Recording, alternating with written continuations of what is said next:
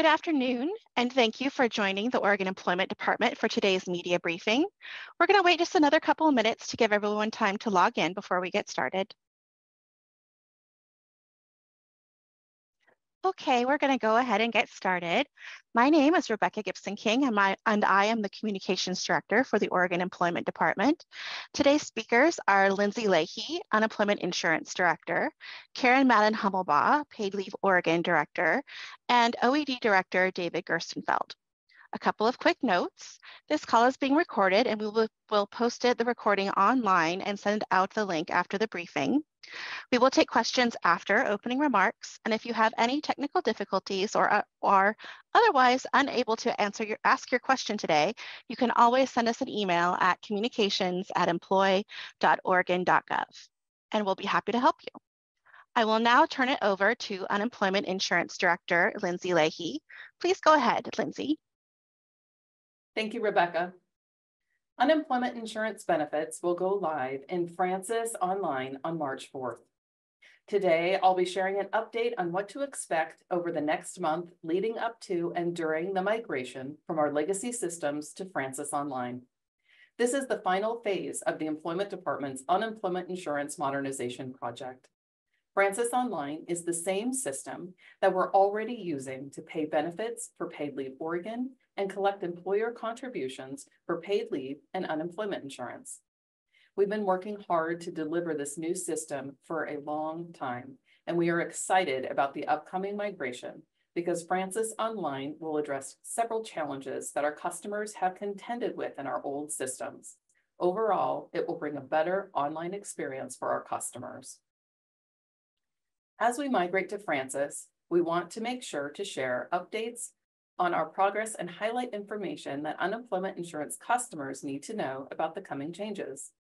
The migration of unemployment insurance benefits from the current system to Frances Online will begin at 5 p.m. on Tuesday, February 27th. The legacy systems will go completely offline at 5 p.m. on Wednesday, February 28th. The new system will go live at 8 a.m. on Monday, March 4th. This means that neither claimants nor employers will be able to access their information. Current claimants won't be able to check claim status, update their information, file a claim, or review any of the information within the online claim system at any time during the migration. Service interruptions like this are normal for large technology projects similar to this one. We also understand that this can be a source of frustration for our customers, so we are committed to communicating early and often about what they need to know to be prepared for the migration. Now, this is very important. Current claimants who want to claim unemployment insurance benefits for the week of February 18th through the 24th will need to file their weekly claim by 5 p.m. on Wednesday, February 28th. Again, that's 5 p.m. on Wednesday, February 28th. If they do not file their weekly claim by this time, they will have to wait until the new system is up and running at 8 a.m. on Monday, March 4th, and their benefits for that week will be delayed. Claimants can file for the week of February 25th through March 2nd, starting at 8 a.m. on Monday, March 4th. This is important to share because most people file their weekly claims on Sunday so they'll need to wait a day in order for the system to open up. Over the next month, we will continue to remind claimants about these important dates. We will be doing this by leveraging all of our communication channels, including sending letters and emails and posting to social media. We are posting web banner alerts on several employment department websites, and we will also be posting updates and reminders on unemployment.oregon.gov. We are asking you, our media partners, to help us spread the word about this important information so customers can avoid a delay in getting their benefits. We will be sharing a migration timeline along with the press release today that's going out uh, later this afternoon, and it will also be posted on unemployment.oregon.gov. Customer service for unemployment insurance will be limited during the migration people will not be able to file a new initial claim application for unemployment insurance benefits by phone or use the online claim system during the migration. To get their initial claim in before the migration, claimants need to file before 5 p.m. on Tuesday, February 27th. The Contact Us form, chatbot, and live agent chat on unemployment.oregon.gov will go offline from 5 p.m. on Tuesday, February 27th to Monday, March 4th at 8 a.m. We are also migrating these tools to frances.oregon.gov during that time. Unemployment insurance customer phone lines will be closed Wednesday, February 28th through Friday, March 1st. They will reopen at 8 a.m. on Monday, March 4th, when Frances Online goes live. The old online claim system will be offline beginning at 5 p.m. on Wednesday, February 28th. The automated telephone weekly claim line will also be closed at that time. Staff at the Oregon Employment Department Central Office in Salem and WorkSource Oregon centers across the state will not be able to answer specific questions about claims. However, job seekers can still visit the WorkSource Oregon centers to get help with their job search activities, participate in training, get career help, and more. Here is what customers can expect when the new system goes live on Monday, March 4th at 8 a.m. They can file their claim for the week of February 25th through March 2nd using Frances Online or the automated telephone weekly claim line. They can also file their claim for the week of February 18th through the 24th if they haven't already. To use the new system, before customers can file a claim or see any claim information, they must first create a Frances Online account. Once that step is completed, the information about their current claim will appear in their new Frances Online account. We will share more details about the process for creating an account in Frances in future messages. The new system is exciting, but people should wait to create a Frances Online account for unemployment insurance benefits until March 4th. We are asking that current claimants check unemployment.oregon.gov often for updates. We expect a lot of people to call the Unemployment Insurance Division for at least the first couple of weeks after Frances Online goes live. We are staffing up in anticipation of the increased call volume, but expect all customer service channels to be, to be very busy. Instead of calling, we encourage customers to use Frances Online to check on the status of their claim and use other self-service options within Frances Online to get the information they need without having to wait on hold. Please know we'll be closely monitoring the processes leading up to the migration and during the migration, and we'll share any updates or changes in these briefings and on our website. We encourage current unemployment insurance claimants to check their mail daily, review all letters and messages from us for the in the coming weeks, regularly check unemployment.oregon.gov, and follow us on social media for important updates. As with any big technology project, there may be issues that arise. We are planning for this and we are committed to communicating early and often about what we are seeing and what we are doing to make adjustments. We understand that change may be difficult and we are here to help make the transition as easy as possible for our customers. Frances Online is designed to be user-friendly and efficient, making the online claim filing experience better. Now I'll turn it over to Paid Leave Oregon Director, Karen Madden Humelbaugh. Thanks, Lindsay. I'm giving an update today on the latest data for Paid Leave Oregon and also how Paid Leave Oregon will be affected by the migration of unemployment insurance to Frances Online. As of last Friday, we have received 49,122 ID verified applications and resolved, which means either approved or denied benefits, 43,480 of those which is 88.5% of claims. So far, this means that more than $238 million have been paid to over 34,000 of our neighbors during qualifying paid leave events. Because Paid Leave Oregon benefits and contributions are already in Frances Online, our program will be impacted by the migration of unemployment insurance benefits to the new system. As is normal for a big technology system like Frances, the system will be unavailable for both our customers and our staff during the migration.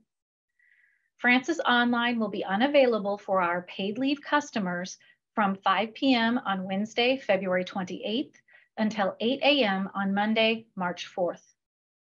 Customers will not be able to create an account, file a new claim, check claim status, claim intermittent weeks, verify identity, or update claim information during this time.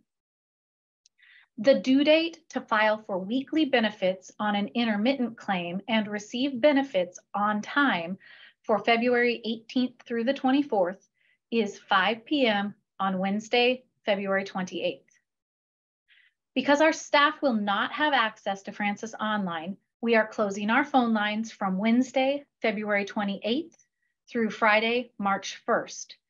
We will use this time to give our staff additional training on how to use the system with unemployment insurance now added into it and to work more efficiently. Our contact us form will also be unavailable from 5 p.m. Wednesday, February 28th until 8 a.m. on Monday, March 4th. We understand that this system outage will be an inconvenience for our customers, and we are doing all we can to limit the impact as much as possible. We will be notifying our customers of the system outage through website banners on Frances Online and the Paid Leave Oregon website, as well as emails and social media. I'd now like to turn it over to Director David Gerstenfeld. Thank you, Karen. Uh, I also want to assure people that we're also sending messages to the employers that use Frances Online to pay their contributions and the contributions of their employees for paid leave to let them know that Frances Online will be unavailable during the migration of unemployment insurance benefits. In addition to messaging on Frances Online, we'll also send out spe special messages to all employer accounts and issue an employer bulletin with this information to all currently registered employers. Our contributions and recovery phone lines will also be closed during this migration as our staff won't have access to the system.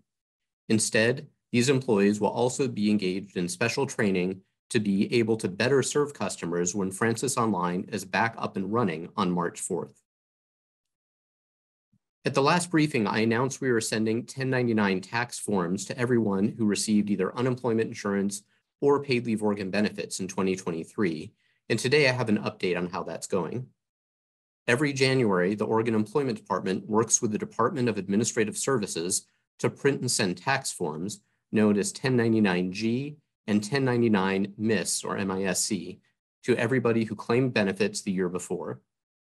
This year, we're sending out about 122,000 forms for the unemployment insurance program, and for the first time, about 33,000 1099 forms for paid leave Oregon. Last week, the Department of Administrative Services notified us that one of their vendors' machines malfunctioned sometimes inserting two 1099G forms into one envelope. This means some people may have received two 1099G forms in their envelope, theirs and someone else's. Fortunately, the vendor stopped the printing before most of the forms were sent. This issue impacted only 1099G forms for those who received unemployment insurance benefits and did not impact everybody who got unemployment benefits. It impacted some, but not all, of the approximately 33,000 forms that were mailed before the vendor identified the issue and stopped the mailings. And this issue did not impact paid leave Oregon 1099 forms. There's more detail in the news release the Department of Administrative Services sent out on Friday, but the 1099 form does contain some personal information like a person's name, the last four digits of their social security number, and their address. Because of this, we're asking anybody who receives someone else's 1099 tax form to please shred or otherwise destroy the other person's 1099-G as soon as possible. The Department of Administrative Services reprinted all of the 1099-Gs that may have been affected, and they will finish mailing all of those forms today. If people don't want to wait for their form to arrive in the mail, they can get an electronic version of their 1099-G now using the online claim system. I do want to express my gratitude to the team at the Department of Administrative Services for their quick response and collaboration on supporting our customers. There was also an issue with some of the paid leave Oregon 1099s impacting about 26,000 customers who chose to have taxes taken out of their benefit payments. The forms had the net and not the gross amounts in the field for benefits. We're printing and mailing corrected 1099 tax forms for those who are impacted and expect those forms to go out in the mail by the end of the week. Starting tomorrow, February 1st, customers can also find an electronic version of their corrected 1099 form in their Frances Online account. Issues like this are common when launching a new program along with a whole new technology system of this magnitude. I'm very sorry for the inconvenience this may have caused some people, and fortunately the error was caught and resolved very quickly. It's a great example of how Frances Online gives us the flexibility to respond to issues as they arise and helps us make sure that our customers are impacted as little as possible. And now I'm going to turn it over to Rebecca for questions and answers. Thanks, David. We're now going to open the lines for members of the media to ask questions. Um, please raise your hand if you have one. If you're joining us by phone and I call on you, please make sure to hit star six to unmute yourself. And as always, if you don't get your question answered today, you can always email us at communications at employ.oregon.gov. So the first hand that I see is Christina. I'm going to allow you to talk. Go ahead, Christina. Yeah, thank you so much. Uh, this is a question for Karen. Um, wondering what your call times look like right now and how do you expect the transition of Frances to the employment uh, insurance as well to affect those call times once you return online? Yeah, thanks for those questions. I actually am pretty excited to report. If you look at our data that we release on Wednesdays, um, our call wait times are actually improving. Uh, we're under 50 minutes on average. I think it's 48 minutes this uh, past week. So we're moving in the right direction with those call wait times um, as we're continuing to hire and put people on the phones. We actually have uh, different call-in numbers for unemployment insurance and uh, and for paid leave Oregon. So um, those would be sort of separate situations. So our call wait times will be sort of the same and hopefully continuing to improve.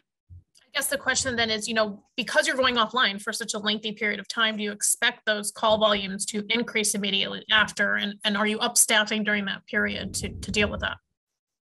Yeah, every Monday, actually, after a weekend or a holiday, is a time when we expect high volume, and we would anticipate that the same would be true of the Monday following uh, the system being down for a few days. So we will have all hands on deck that day.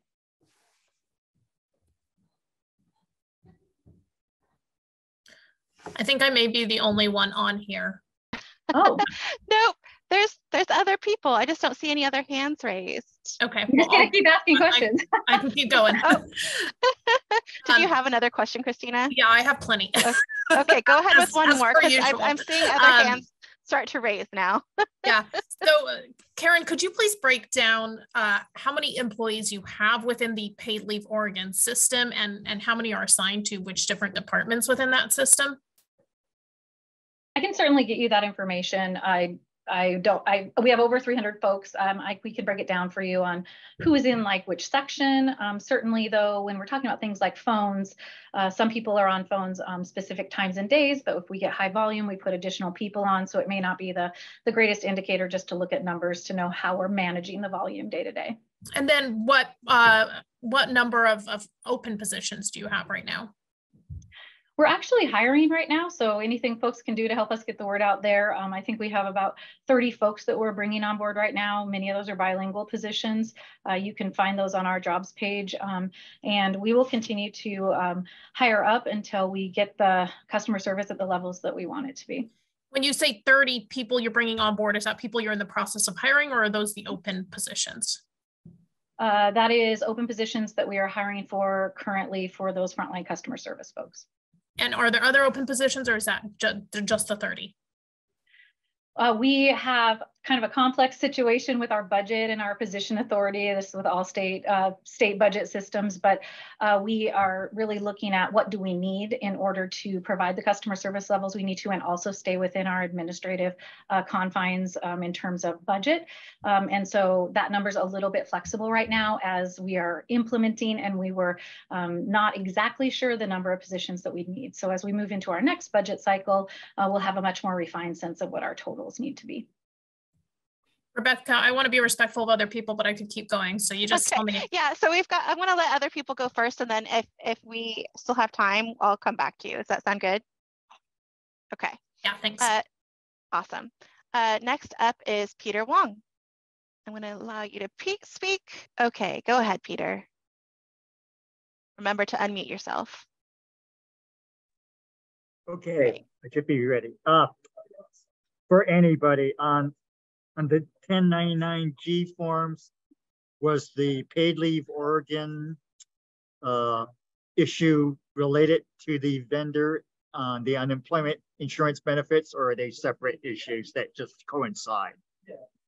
Peter, th those were separate issues. They were unrelated. This is the first time that paid leave has paid benefits. So it's the first time that 1099Gs have ever been issued or 1099 miscellaneous forms for the paid leave Oregon program. So it was an unrelated issue.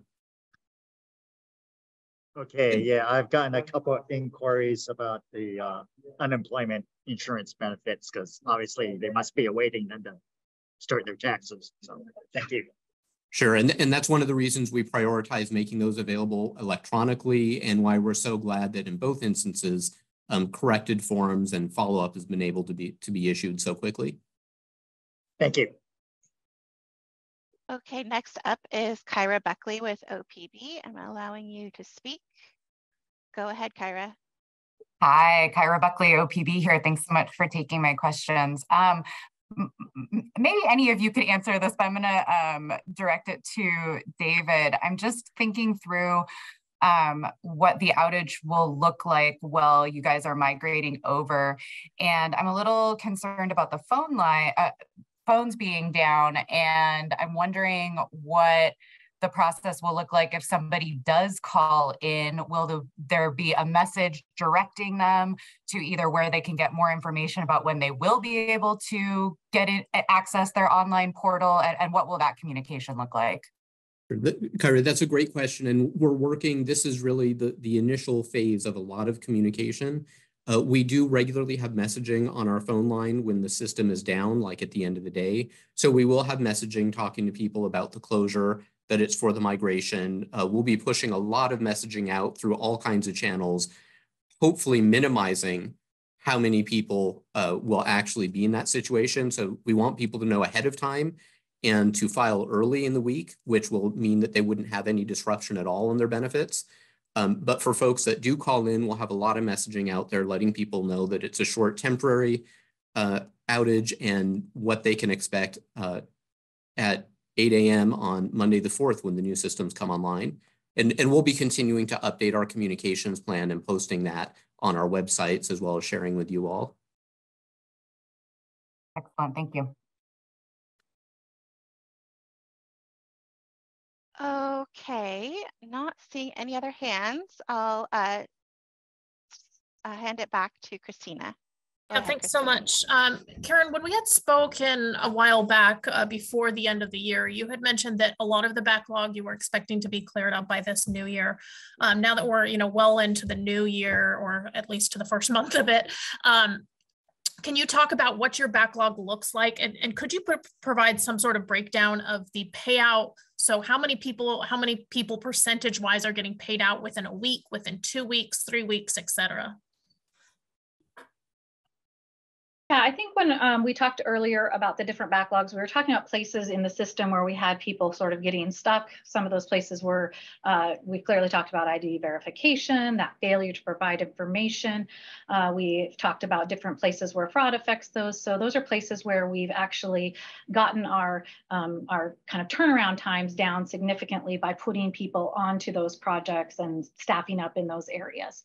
I do not have a breakdown um, for you in terms of like week by week week or where people are in the process. That is something we're working on.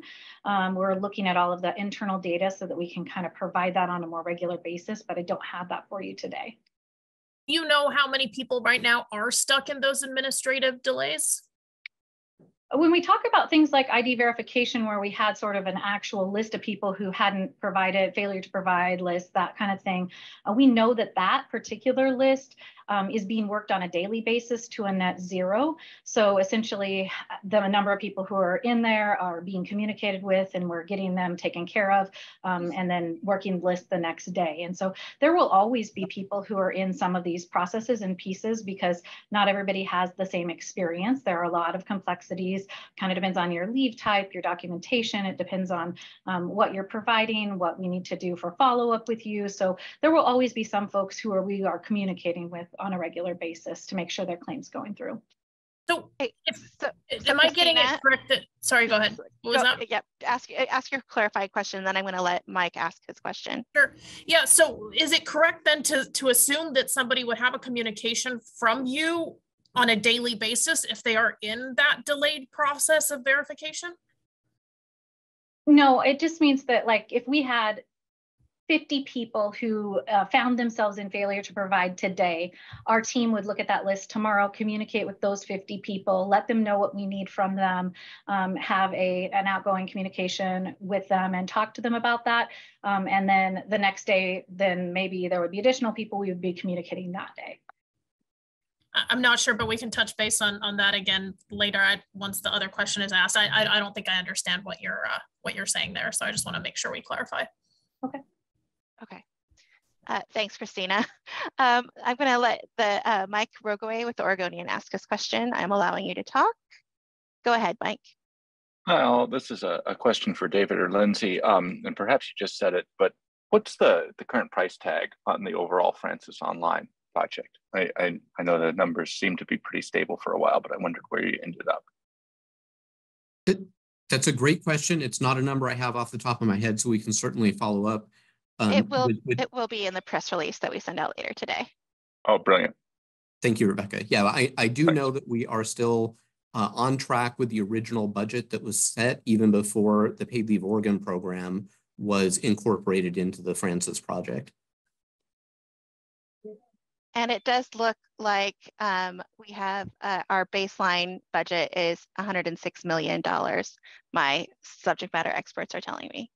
But like I said, it'll be in the um, press release. Thank you. Okay, um, Christina, do you have uh, a, a follow-up question? Yeah, I, I- I'm really just trying to understand. So if I'm in a backlog where I have an ID verification issue or any other issue that's causing my claim to not be processed for months on end, you are contacting me on a daily basis or not? I'm specifically speaking to people who are in that failure to provide category. So those are the folks who have not provided us information that we have asked them to do. And then they reach out and say, hey, what's going on with my claim? And so we're making sure that we're getting a contact out to those particular people. That was the place that we've all been talking about was a situation where we had a backlog that we now have under control. And so that's what I was referencing specifically. Uh, people who are um, you know, everybody else is being worked just as a claim would be worked. It's being pulled by staff, um, sort of on a next task basis. And with the Frances Online system, are people, are your employees able to see when a document has been uploaded? Do they get notified when a document has been uploaded by a client? Do they get notified when a client submits an, an email or a request or something through the Frances Online system?